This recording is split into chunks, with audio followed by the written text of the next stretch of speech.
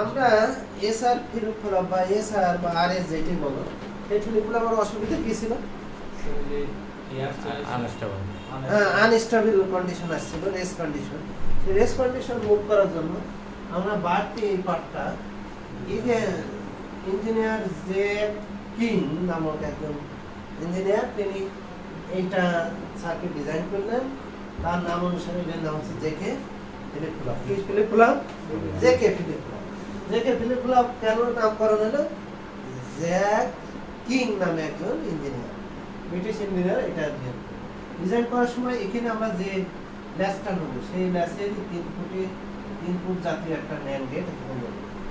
নেওয়ার ফলে এইটার ফিডব্যাক নেব, অর্থাৎ অপোজিট ফিডব্যাক এর ইনপুটই নেব অপোজিট ফিডব্যাক এর ইনপুটই নেব, আর একটা কুলাক পালস নেব। কুলাক পালসটা মনে করো আমরা সব সময় পজিটিভ কুলাক পালস নেই। এই clock pulse all time one তাহলে এই ক্ষেত্রে আমরা যদি কম্বিনেশন করি তাহলে যে কত? জিরো কে জিরো তাহলে সেই ক্ষেত্রে কি হচ্ছে? এখানে জিরো এটাও কেউ জিরো সেই ক্ষেত্রে এটাও জিরো এটা আমার স্বাভাবিক অবস্থায় দেখি যে এখানে ওয়ান ছিল এখানে কি ছিল? জিরো ছিল। তাহলে আমরা জানি এই জিরো এখানে একটা যে কোনো একটা জিরো গেলে সে কি হয়ে যাবে? এটা এটা কি হবে?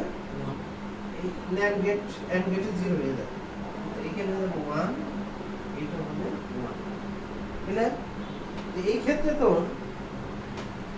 আমার অ্যান্ড গেটের এখানে যে কোনো যদি একটা ওয়ান হয় এই যে অ্যান্ড গেট ওয়ান আছে। না, যে কোনো একটা জিরো আমার যে কোনো একটা জিরো হলে কি হয় সেটা? অন হয়। অর্থাৎ সেটা অ্যাক্টিভ হয়। তাহলে অ্যাক্টিভ হবে দেখো শুরু করে তাহলে এটা উপরে ডাক অ্যাক্টিভ তার মানে ক্লিয়ার তার মানে এটা এই অবস্থায় কি দাঁড়াল LC no condition no sense এরপরে আমরা এটাকে জিরো এটা ওয়ান এই অবস্থা আমাদের কিন্তু আগের পজিশন আমরা ওয়ান তাহলে এটা ওয়ান এই ওয়ানটা এখন যাবে কোথায় করে উপরে না এই ওয়ানটা নিচে। আর এখানে ওয়ান ইন্টু ওয়ান তার মানে এখানে জিরো আর এই জায়গায় কি আমরা এটা দরকার নেই জিরো আসার যে কোনো একটা জিরো হলে কি হয়? ইনপুট হাই হয়, তাই না? ইনপুট হাই ইনপুট হাই মানে এখন এইটা হাই এইটা হাই হওয়ার ফলে এইটা আমি এখন এখানে দিয়ে যাচ্ছি। তাহলে এটা ওয়ান হলে এখন এটা তাহলে এই অবস্থায় আমাদের কি আসলো? কিউ জিরো এইটা এরপরে যখন এই নিয়ে আমাদের এই অবস্থা কি আসলো? কিউ জিরো অবস্থা চেঞ্জ গেল এটা ওয়ান বর্তমান পজিশন মানে এটাও এখন ওয়ান এটা জিরো এটা জিরো ক্লিয়ার না ক্লিয়ার না? এখন এই জিরো তাহলে আমাদের অবস্থা হয়ে আছে। এখন দেখো এইটা ওয়ান এই অবস্থায় এইটা হচ্ছে জিরো তাই না? আর এদিকে হচ্ছে ওয়ান সেই অবস্থায় এইটা জিরো সাত সাথে সাথে এটা হাই হয়ে যাবে। এটা আবার এখানে আসবে, এসে ওয়ান হয়ে যাবে। ওয়ান ওয়ান ওয়ান এটা আবার জিরো। তাহলে আমাদেরকে আমাদের রিসেট কি হলো এখন? সেট হলো না রিসেট সেট হলো কি হলো? সেট হলো। এটা যদি রিসেট ছিল, জিরো থাকা অবস্থা তাহলে এখন তাহলে এটা আমাদের বলব এখন এইটাকে বলব আমরা সেট এটা কি বলব? সেট এটা রিসেট সেট রিসেট আর এটা যখন ওয়ান হবে এটা ওয়ান এটা যাই থাকুক না কেন আগের কন্ডিশনে আছে মানে মানে এটা ওয়ান আছে এটা জিরো আছে তাই না? এটা ওয়ান আছে এটা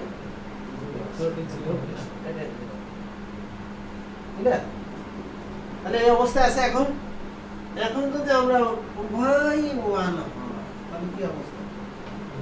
তাহলে এখানে সবে কোনো এটাও নাকি? জিরো জিরো জিরো হ্যাঁ। এখন দেখো যদি জিরো হয় মনে করো সাপোজ এইটা তো যে কোনো একটা জিরো হলে কেন এখন চেঞ্জ হয়ে যাবে। কি হবে এখন? এটা মনে হয় জিরো পাইছে। তাহলে কি হবে? জিরো পাইছে। এখানে যাই যে কোনো একটা জিরো দিতে হবে One. হ্যাঁ, one। একটু আগে কি ছিল এটা? ওয়ান ছিল তাহলে কি লাভ? এখন আমাদের যে অবস্থাটা ওয়ান ছিল। তাহলে এটা এখানে জিরো ছিল। সব দেখো। জিরো। এটা ভুল এসছে এটা জিরো। দেখো। এইটা ওয়ান। দেখছ? ভুল হয়েছে। একটা তো জিরো আছে। তাহলে এটা ওয়ান। আর এটা কি হবে? কারণ এইটার এই যে অবস্থা তিনটি তাহলে এইটা এখন চেঞ্জ কি হবে? স্টেপ এই যে লাস্টে ওয়ান থাকা অবস্থায় ওয়াই ওয়ান থাকা অবস্থায় স্টেট চেঞ্জ হবে অর্থাৎ এইটাকে এই টোটালটা বলা হয় জি অর্থাৎ জিরো থাকলে ওয়ান ওয়ান থাকলে দুটোরই অবস্থা। এটা তো সেট রিসেট আছে কিন্তু যখন যখন দুটো ওয়ান হচ্ছে ইনপুট যখন এই যে যে যখন ওয়ান আছে তখন সেট যে যখন জিরো আসছে তখন বাট যখন এই দুইজনে কি হচ্ছে ওয়ান থাকছে তখন অবস্থা চেঞ্জ হলে আমরা এটা নাম দিচ্ছি টগল এইটাই আমার টগল কন্ডিশন টগল কন্ডিশনটা কি? আমরা একটু দেখাই। টগলটা এরকম এটা positive clock pulse positive clock pulse যদি হয় পজিটিভ এজ পজিটিভ ওয়ান থাকলে এই অবস্থায় আসছে এটা জিরো থাকলে ওয়ানে যাচ্ছে এটা কিন্তু পজিটিভ এজে এটা কি বলে টগল এটা কি বলব? এটা কোন এজে পজিটিভ এজে মানে পজিটিভ যাওয়ার হয়।